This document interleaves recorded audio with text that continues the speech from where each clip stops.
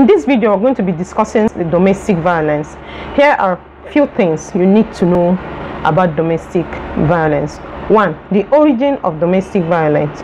Two, sometimes women contribute to their own abuse. Three, dangers and signs of an abuser.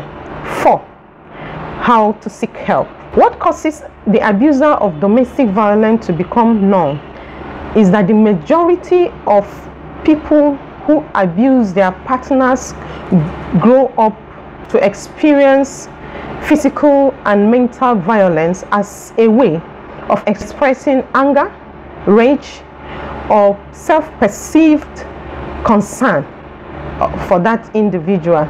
And these are the following ways it can be reinforced disagreement with a partner, a protracted period of unemployment, financial issues. It could be anything.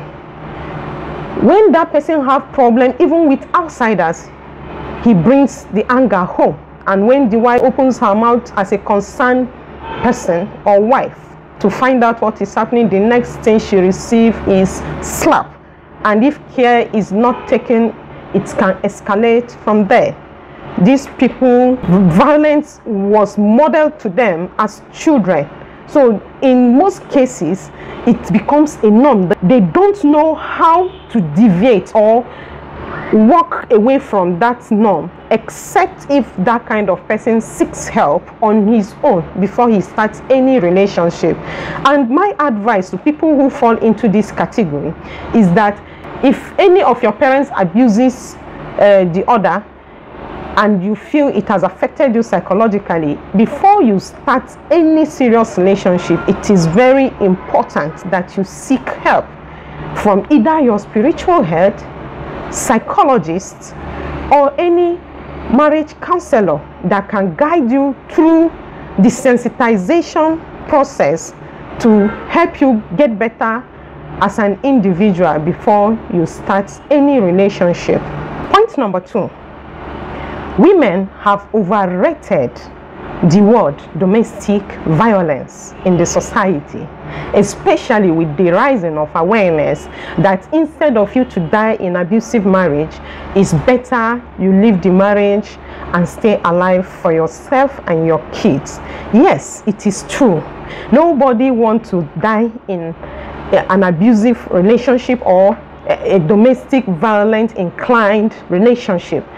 But then, as a woman, have you really sat down to consider or to think if you have contributed to this abuse in any way? Because sometimes we women push the men, especially the good behaved men who were not raised in environments where domestic violence is a norm, those innocent ones can be pushed by their wives. The way and manner we push these men is through the use of words.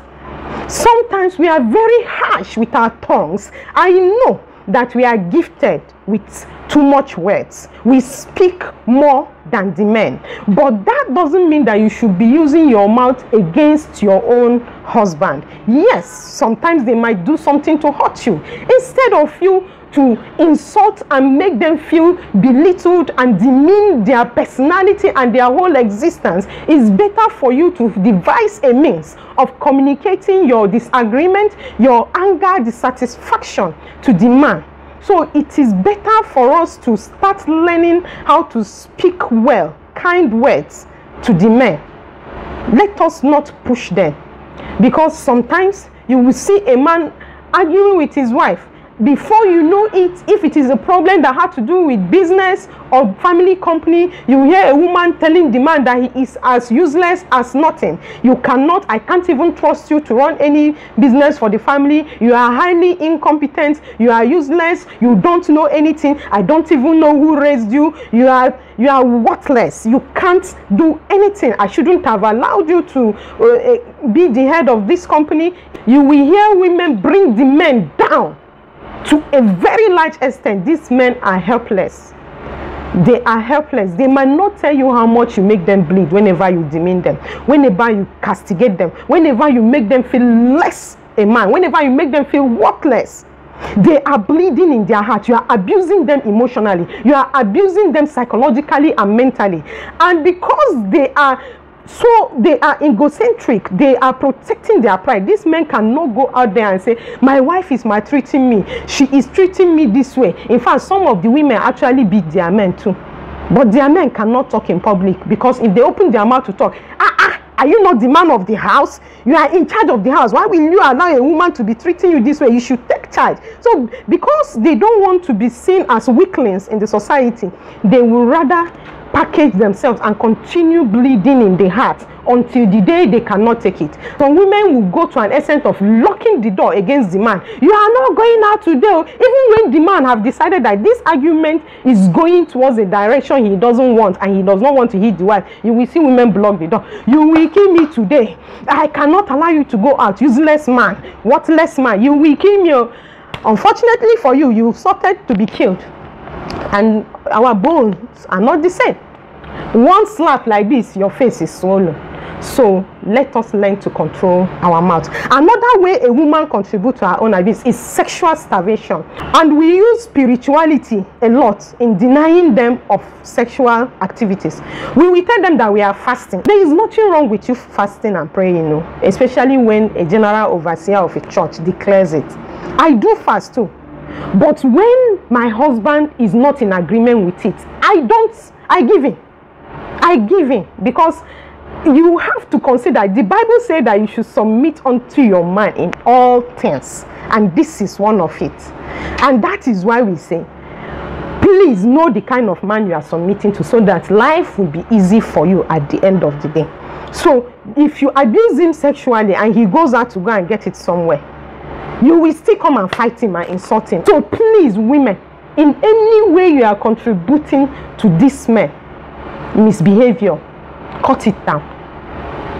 Examine yourself and ensure that you are not the one contributing to it. If you have examined yourself and found out that you are not so contributor to your abuse, then the next thing you need to do is to get help. The next on the list is danger signs of an abusive person. Number one, where did this person grow up? The environment this person grew up is very, very important. Sometimes the family history is he from family that respect marriage and their women? These are the first thing you should find out about any man that is coming into your life. Try to know his family. Try to go close to their, his family and understand the way things run there. If he is from a family where women do not have say, if he is from a family where a little boy of uh, 10 years or 15 years can slap an elder brother's wife, you should run for your life. Drug abuse too is a danger sign. If he abuses anything at all, drugs, alcohol, or whatever, there is every tendency that he might lose his, his senses from time to time and mistreat you. And when he is back to his senses, you see that person begging you for forgiveness. So try to find out the history of that person's environment. Then the next is financial history. Is this man financially stable? I'm not telling you to go and look for a millionaire before you settle down. I didn't do so. But you should at least get someone whose income is at least very stable. If his salary is 20,000 naira per month, 50,000 per month, 100,000 or thereabouts, you should know how much you are bringing to the table and know if you people can be able to start family together. If you know that he's not stable enough to marry you, if his income is not stable today, he is looking for a place to offload goods, tomorrow he is doing some things that are not defined, it can be a danger sign because whenever those work did not come around, he will not have anything to give you. And if you open your mouth to say that there is no food because you did not bring money, it can be a problem. And that is why it is equally very good for a woman to be working before she gets married so that when the man is having financial issues along the line, sometimes this person might be stable financially, but life happens some people get laid off some people lose their jobs some people have accidents and lose their job because they can't function in some certain ways. If you as an individual is financially stable you can step in to be to, to help for uh, cater for the family while the man try to go back to his feet. A partner who close mark you at all time. A partner who want to be your escort at every given time. A partner that wants to monitor you wherever you go who you are with what you are doing is not a healthy person. That person is obsessed with you. And when someone has become obsessed about your matter it means it is not healthy. That person is not secure. Somehow somehow the person is insecure about something or trust issue. When stuff like that happen you see somebody shooting you or kicking you just for not understanding where you went to you did not tell him where you went to even when your journey or movement is genuine they don't want to know. They want to be carried along at all times.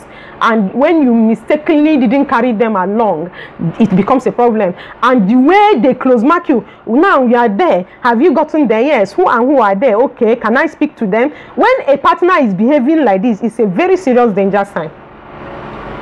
If you are not married yet avoid that relationship then another thing is someone that uh, every little thing he want to raise his hand uh, if the hand did not land on you and it end up hitting the wall or something in the house breaking things once you get him angry my dear avoid that kind of person because it is a very serious danger sign if you eventually get married to this person when he gets angry he will land on you.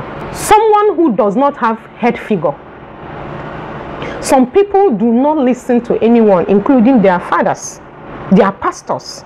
They don't have an authority they obey or respect. Every man in life needs a head figure, someone that when something is going wrong with him, you can call this person and say, Sir, this is the situation at home. And once that person calls him to tell him calm down. I'm coming over. Come over to discuss with me. You will see the person responding well once that person does not have a head figure you should avoid him. Because that kind of person can be so grandiose feel they, they are the demigods in your life and they are very dangerous to be with. And it is equally important to marry a god-fearing person someone that fear and respect god. Will love you unconditionally. Yes the fact that that person loves you unconditionally doesn't mean that you will not have argument from time to time. That is why we are human. But god fearing truly not just church goer. There are people that are workers performing in different departments in the church but their history is nothing to write home about I'm not talking about those kind of people. I'm talking about people that respect God for God. People that have self love, that love themselves to a very large extent, will not hit their wife because if they love themselves, they will love you as themselves. And they will not hit you because they cannot hit themselves. So marry a God fearing man. Don't marry a man that do not have regard for things of God or to the word of God. The next on our list is seeking help. Whether you are the cause of this abuse or not, the moment it happens, the moment you get beaten for the first time, leave the environment to a safe place and get help from there. Where do you get help from? Number one, human rights resources facilities. Number two, spiritual leaders. If your spiritual leader is telling you to go back and endure, seek for help elsewhere. Go to any teaching hospital in your state and look for psychologists. Next, look for relationship coach that will advise you aright. I am here to teach on domestic violence because I care about myself, my daughters, and my fellow women. And please do not take anything I have said here personal, but rather take it as a lesson. If there is a way you know you have contributed to your husband's misbehavior, please avoid them and strive for peace and better family relationship. That will help your children to grow as sound and self-reliant adults if that will eventually become successful husband and wife. if you are coming across this channel for the first time i am coach zara. I teach women how to do marriage based on god's standard and perspective. If you enjoyed my teaching in this video please don't forget to like share and subscribe to my channel